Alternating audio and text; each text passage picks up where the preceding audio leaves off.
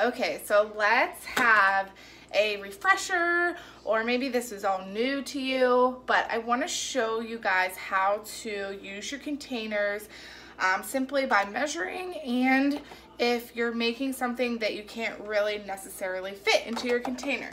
Like this bagel, you can't fit it. So we wanna find out what our equivalents are to our food containing to our containers. So what I have here is my breakfast. Um, the plan I'm using requires a lot of protein. So I have three sausage patties, two eggs, spit, uh, kale, and then a bagel. Now, how do I know which containers this, equivalent, this is equivalent to? Well, this sausage, you can cut it up and you can put it in here. But because it's not fresh ground turkey or beef and it's made by process it's just this Johnsonville turkey sausage. I have to look at the serving size on the back and go off of that. So there's a horrible glare. if you um, see, it says serving size one patty. So I know that one patty is one protein. So just in my sausage, I'm supposed to have four proteins this morning. This is just my plan for the goals that I'm working towards right now. It is not normally like this. Um, my normal nutrition day is uh, five proteins in one day, not nine. but one serving of protein per patty. So I have three proteins right here.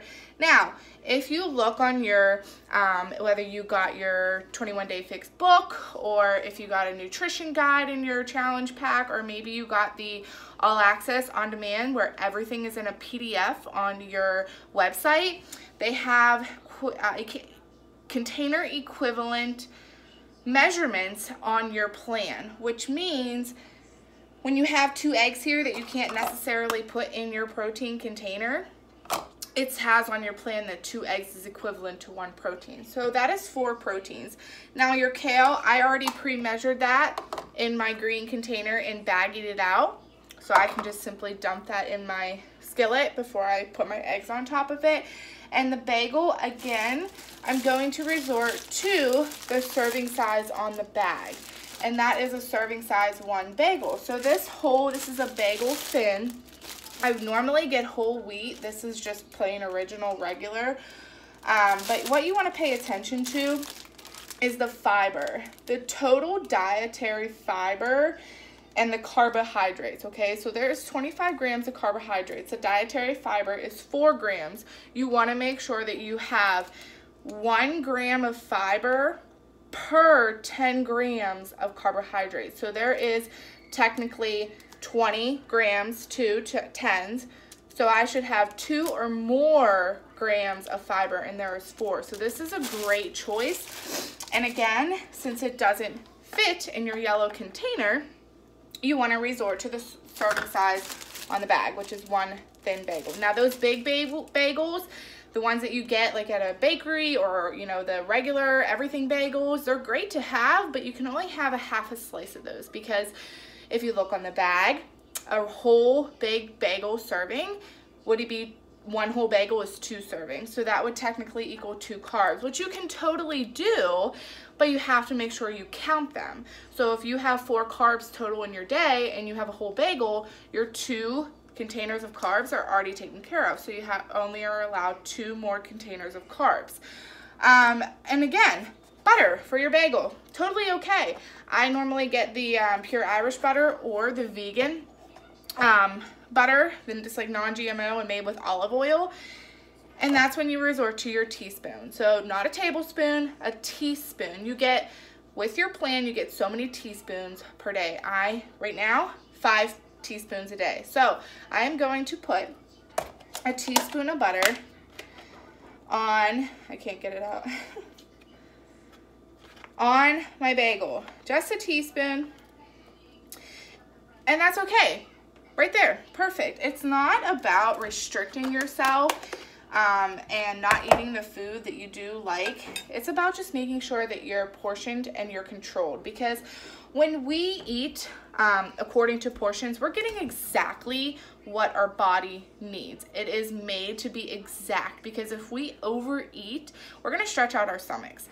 And what's gonna happen is our next meal, we're gonna have to put that exact same amount of food in to reach your fullness or you're just going to keep eating because you're not going to be full and you're not going to be satisfied. So when you can when you combine all these containers and you measure them to be exact, your body's going to get the exact amount of food, nutri nutrients and proteins that it needs because your body can only um, digest so much protein. It only needs so much of that nutrients. The rest turns to fat. It goes to glucose and then it turns right to fat. So it's not even needed and it's being wasted and turning into fat. So that's why we don't want to overeat.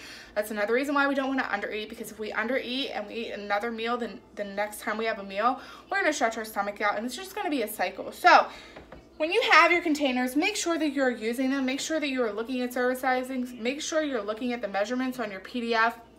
Um, calorie count or your um, food list of what your each food goes into your container make sure that you're following that and you're looking because that is going to what is going to give you your results your results are based in this kitchen you can work out but if you're not fueling your body properly and giving the foods that it needs you're not going to get the results that you want 80% of your results come from nutrition, comes from your kitchen.